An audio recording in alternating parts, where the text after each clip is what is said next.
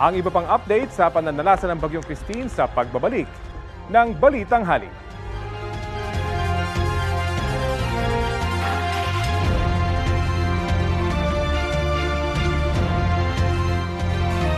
you did a film as part of your uh, master's in film studies at UP Diliman uh, about Recto Mercene, a legendary news photographer who was at the airport.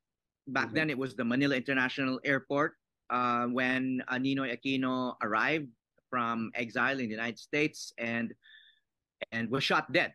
No, was shot dead and changed the course of Philippine history. And uh, Recto